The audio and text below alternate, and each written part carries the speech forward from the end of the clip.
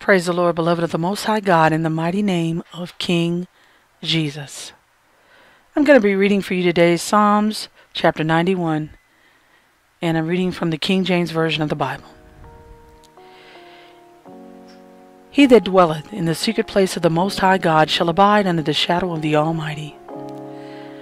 I will say of the Lord, He is my refuge and my fortress, my God, in Him will I trust. Surely He shall deliver thee from the snare of the fowler and from the noisome pestilence.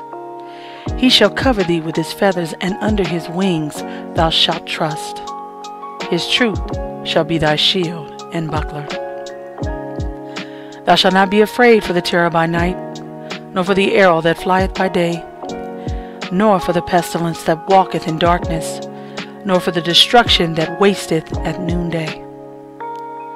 A thousand shall fall at thy side, and ten thousand at thy right hand, but it shall not come nigh thee.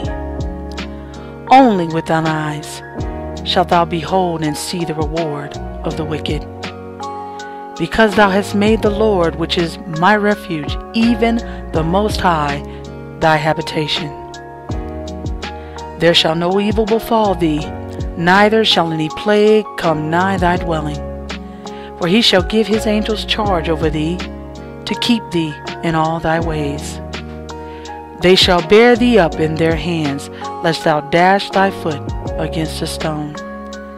Thou shalt tread upon the lion and the adder, the young lion and the dragon shalt thou trample under feet.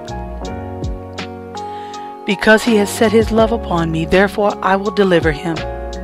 I will set him on high, because he hath known my name.